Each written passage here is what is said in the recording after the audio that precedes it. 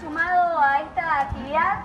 Agradecerles al grupo de cicloturismo por, por sumarse, por organizarla, a los excombatientes de, de Malvinas también por haber propuesto esta actividad y a todos ustedes por, por sumarse. Mucha suerte en estos 41 kilómetros que, que van a pedalear. Eh, lo tuvimos que suspender porque el clima no nos había acompañado. Bueno, decidimos postergarlo 15 días.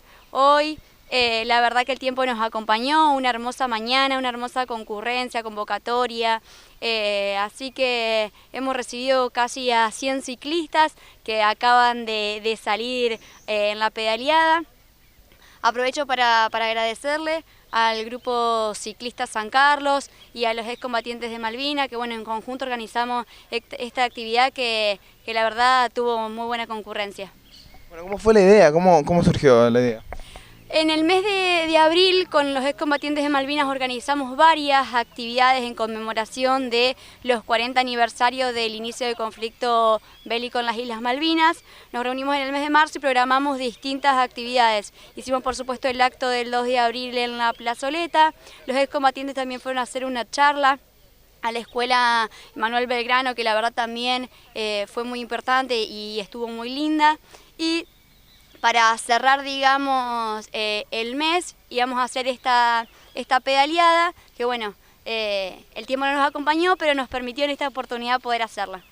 Comentame un poco cómo es el circuito. El circuito, eh, bueno, arrancaba acá desde la plaza 27 de septiembre, iba hasta Matilde, y hasta San Carlos Centro y, terminaba nuevamente en la plazoleta 2 de abril acá en San Carlos Sud y en las localidades iba pasando por lugares que eran emblemáticos y significativos de, las Islas Malvinas. Muy bien, en cuanto a, los ciclistas, ¿qué número, cuánto me dijiste? ¿100? ¿Y de qué localidades? ¿Solamente de acá o...?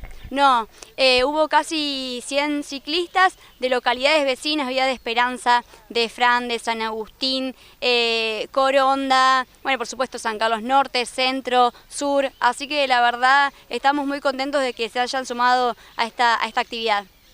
¿Y después de la recorrida hay una comida? Sí, después finalizada la, pedaleada, los ciclistas que querían podían quedarse a, comer a un servicio de buffet que, que acá uno de nuestros bares eh, emblemáticos de, la localidad. ¿Esta, esta idea de, la recorrida se va a seguir haciendo en los años?